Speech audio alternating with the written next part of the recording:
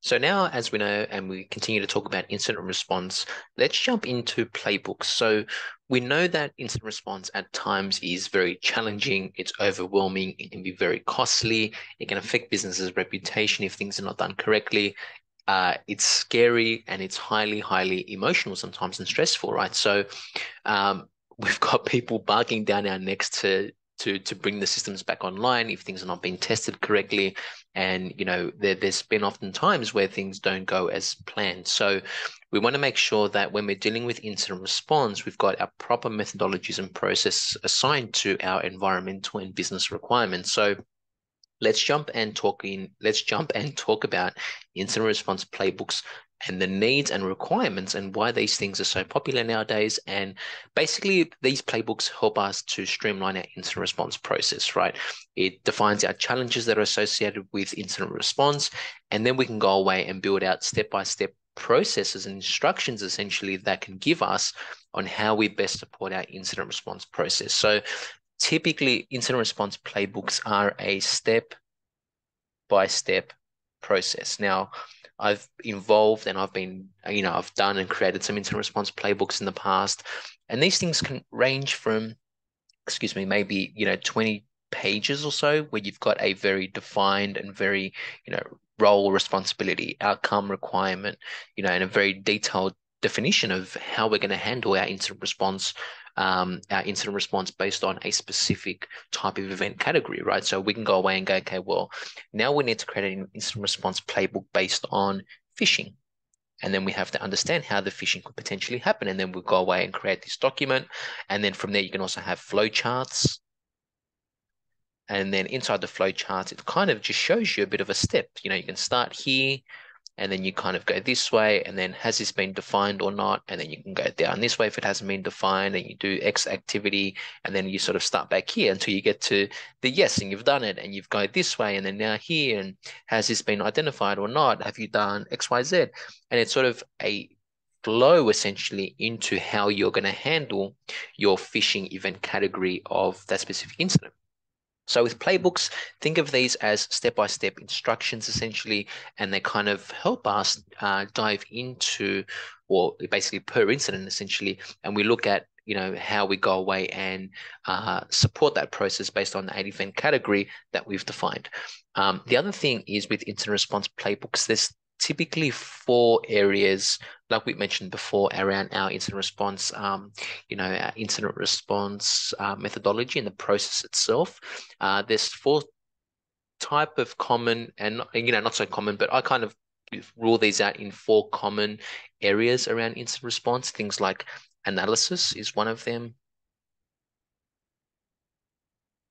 Uh, it could also involve containment, always involves containment. Um, and then to others also, as I'm just trying to think of this, recovery,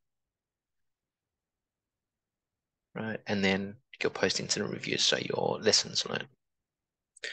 Um, and then it's sort of four typical phases around our incident response playbooks. Now, all these can sort of happen at different phases. Obviously, you're not going to do your recovery first or your lessons learned. Typically, your analysis and containment sometimes can alter, and we're going to cover a couple of these in, in some examples that we're going to cover together. So typically, we'll go through that process around analysis, containing it, recovering, how we can obviously effectively recover, and then lessons learned. So our post-incident review, and again how things could have been better um, and then scrutinizing every bit across that you know the process of, of our incident response methodology so typically the incident response team isn't involved in the incident until it's obviously been declared as an incident so typically at this point you know the triaging has been done and then obviously then we involve our incident response team to either go away, we can develop these after the incident. So let's go look at some typical incident response playbooks and how they kind of look out. So I've got a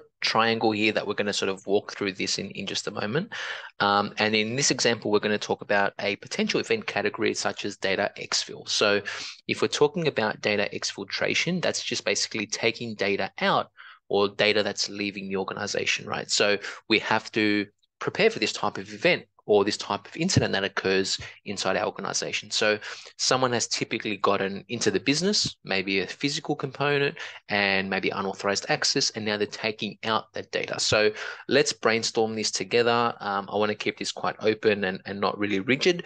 Uh, and then you can start to see the different phases here, as I've mentioned, these sort of four areas, the analysis, containment, recovery, and lessons learned, how they alter between the different types of, of playbooks that we sort of create. So as we do data exfil, um, well, the first thing is we need to uh, identify, right? So what, what, what on earth has happened? So for me in this phase, I would start doing some sort of analysis, right? In analysis, we'll look at IOCs or potential indicators of compromise, basically what happened, uh, and define very specifically, well, what actually did occur? Was this maybe an external source that was communicating with something? Was it an internal source communicating with something externally? And we have to define what they are. Are there certain maybe ports? Maybe certain protocols are associated with this exfil uh, and define what they are. Are these maybe common services? Maybe it's DNS, maybe it's HTTP. Uh, who knows, maybe certain port that's associated with those things as well. Uh, is this user account activity? You know, is there a user account that's potentially or a service account that's associated with that exfil attempt, right? So uh, again, is that user account running? Is it running a certain service? Is the account associated with, again, that specific service? So we're basically looking at the scope and the extent of what's going on. So again, we can also look at things like logs as well. So our, is our logging and infrastructure firstly working? Um, you know, we may look at things like when did it start?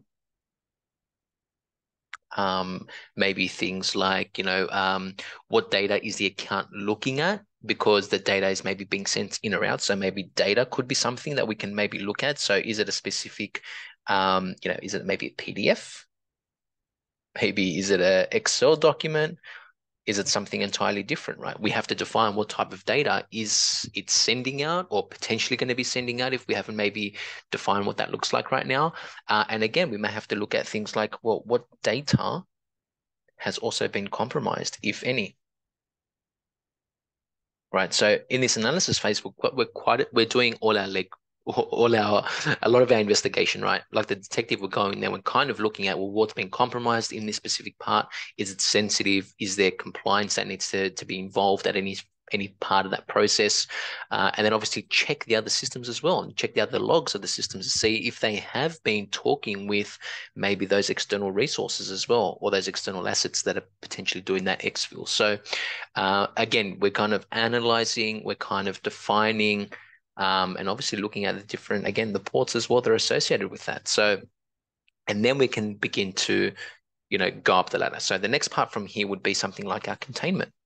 So now that we've defined what is going on in the environment, we can go away and um, contain. So I just want to add something else to the analysis phase before I continue. So analysis, think of this as the scope. And this is something that I mentioned before. We need to define the extent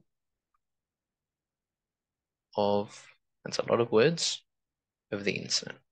Very clearly and very definitive, right? We have we can't make an assumption. It has to be quite factual. So we'll have to look at all indicators of potential compromise and go through this very method, methodolo methodological or method, methodically across the environment. So Containment as we continue up this ladder is the next part. So this could be involving something like isolating the hosts or hosts, you know, the host or hosts in the environment. Um, and typically maybe there would be some type of malware that's sending out the data. So beware of maybe some sort of malware or some sort of uh, malware on system, right? That could be doing something as well. So we have to contain that part of that process. Now, as we continue up, what what would our recovery look like? Now, this could be something like maybe rule sets. Do we have to uh, apply any rule sets to maybe our endpoints for our users, right? Maybe it could be IDS or IPS systems, right? Could be our UTMs or firewalls as well. Uh, it could be dealing with that external IP address. So, so making sure, obviously, those URLs uh, that are associated with that. So I'm just going to say URL. So we might have to block that access along with the ports associated with that uh, or investigate further. So obviously during our analysis, we understand what that looks like. Um, then we may have to reset the password accounts as well. So I'm going to put reset password if any accounts or service accounts have been affected or being part of that exfil of the data component. Uh, and then typically we'll have to go to do some sort of restoration, right, from backup. So we may have to go to a point of time. So if we're sort of operating here, we have to go to a point before the incident happened and then obviously restore and recover from that point of that backup. So we obviously have to make sure our backups work and we can in fact in fact get a copy of that data to restore and recover from uh, obviously um, ensuring there's no business impact either. So from our recovery we've gone through that process and then as we continue up is our lessons learned. And in here obviously we're going to go through and define did our methodologies work correctly? Tool sets? Was it training?